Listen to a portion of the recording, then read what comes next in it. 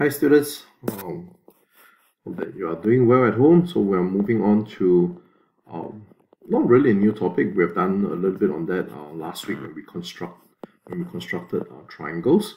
So today again I'm going to, uh, again want to reinforce on how to measure angles uh, and also how to construct uh, nets of 3D objects. So again, uh, there's no chance for me to demonstrate in the classroom, so I will use a virtual protractor to actually tell you how to go about measuring. So you need to, again, take note of a protractor, you know, move it around. Okay, take note of it. Okay, there is a base to the protractor and you always use this corner mark here. Can you see this, this corner mark here as the reference point when you are measuring an angle. So since you have an angle here, I just, you know, use it as an example. So move the protractor slowly, move it slowly, and make sure it's aligned to the reference point okay somewhere around there yeah I think it's quite accurate. So once you put it together oh it seems like this angle is about what 39 39 about 39 degrees? Okay for this question okay 39 degrees. So let's move on to another one okay this is an acute angle. Acute angles are angles that are less than 90 degrees. Okay what about the next one? Oh what about this obtuse angle? So how do we go about measuring these obtuse angles obtuse angle are angles between no more than 90 but less than 180 so we have this angle here again you rotate the protractor a little bit. Okay adjust. Okay it's too much. I rotate it again. In fact if, if you are not using this virtual one it's not so much easier isn't it? So my uh, so it's slightly more difficult. So I move it slightly again to the reference point getting closer. Okay it's about there. About there okay so I'm at this angle. Since this is an obtuse it must be more than 90 so it's 110 so this one is probably about 103 to 104 degrees closer to 104 sorry 114 degrees. Okay this is closer to 114 degrees. So this angle is 114 degrees. Okay got it? That's an obtuse angle. Okay what about this tricky one? Oh no what happens you have a reflex angle? Say mr leong this protractor only measures up to 180 degrees. How do I go about solving this? Not to worry. Okay, we can use the concept of measuring an acute angle first. Then to get the reflex, it's basically 360 degrees minus the acute angle to get the answer. Okay, so let's work it out. Okay, so for this case, uh, okay, let me move it, move it slowly. Okay, no, still too much. A little bit more a little bit more. Okay seems good. So put it at the mark. Okay seems good yeah. This is about 27 degrees okay?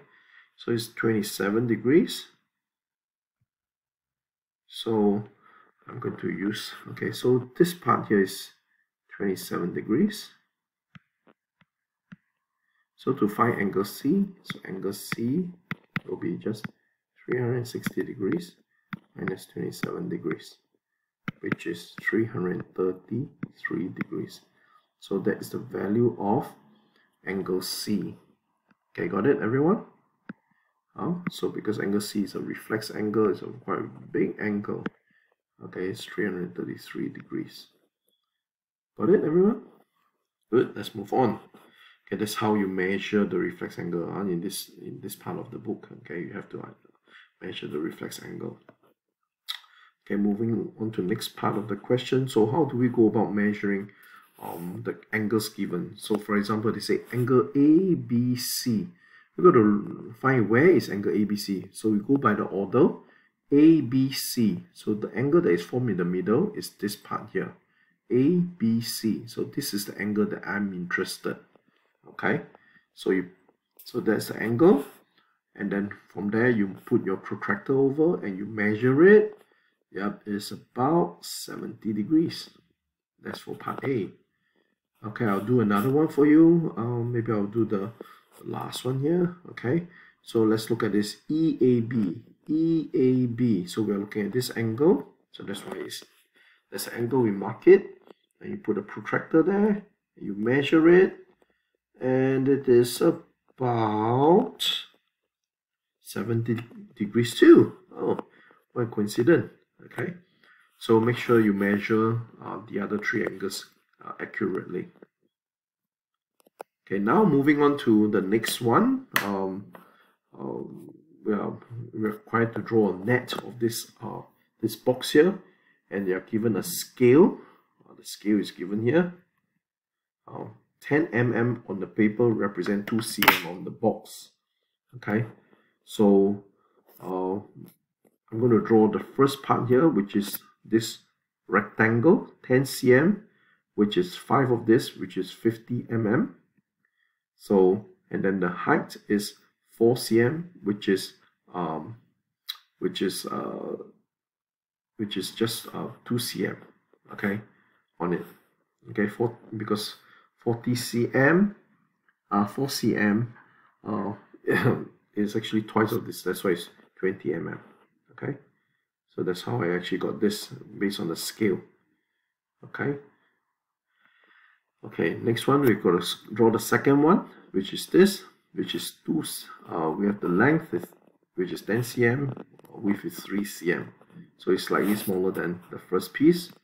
Okay, that's how I draw this. And then the third piece is the one just next to number two, so which is the same as number one. Okay, then after that, I'll draw the base, the bottom part, which is four, which is the same as number two. So far, so good, okay? So now let's draw number five. Okay, number five is actually a three by four, so which is the same as this. Okay, three by four. And then after that, I will have uh, the, the other side, which is also a three by four. So that is how it looks like on a net for this uh, stapler box. Got it, everyone? Step by step. Okay. So the next one, okay, they actually ask you, oh, to design and construct, and you can do it if you have, uh, you know, you, have cupboard at home.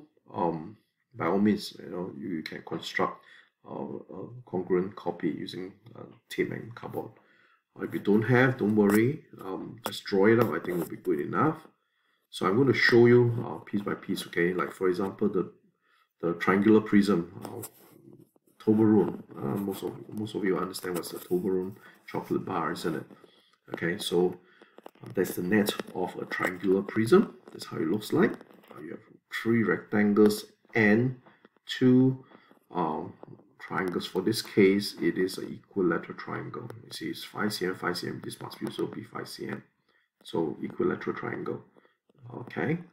So the other one is a square pyramid okay net of a square pyramid so it looks something like this you have a square the triangle doesn't really look like a equilateral triangle so I've actually drawn an isosceles triangle and these four isosceles triangle are similar they're the same okay or should I say they're congruent okay they're congruent and not very often we actually did this okay this is a cylinder so when you cut it open the net actually looks something like this. You have a rectangular piece.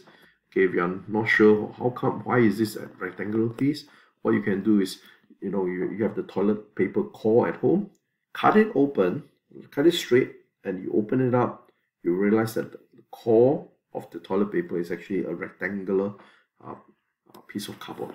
Okay, take, take a note, uh, and the two circles are basically the, the top and also the base. Got it so far? Okay, so this is how you actually draw net. Quite easy, isn't it? Okay, so make sure you complete the two exercises that I've given you and also uh, some of the questions on my online. Okay, bye-bye.